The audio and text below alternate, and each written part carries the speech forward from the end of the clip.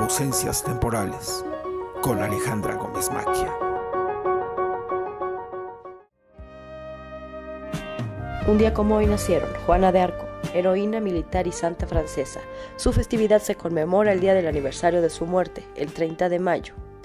Gibran Jalil, poeta, pintor, novelista y ensayista libanés nacido en Bishari el 6 de enero de 1883 y falleció el 10 de abril de 1931.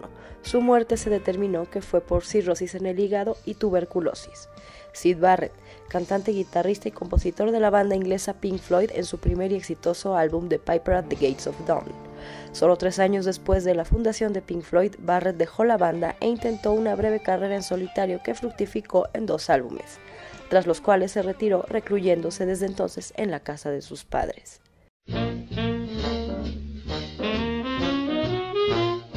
Un día como hoy murieron Dizzy Gillespie, trompetista, cantante y compositor estadounidense de jazz. Gillespie, con Charlie Parker, fue de las figuras más relevantes del desarrollo del bebop y el jazz moderno. Rudolf Nureyev, bailarín clásico nacido en la Unión Soviética, considerado por muchos críticos como uno de los mejores bailarines del siglo XX. Todd Williams, jugador profesional de fútbol americano que jugaba en la posición de ofensiva.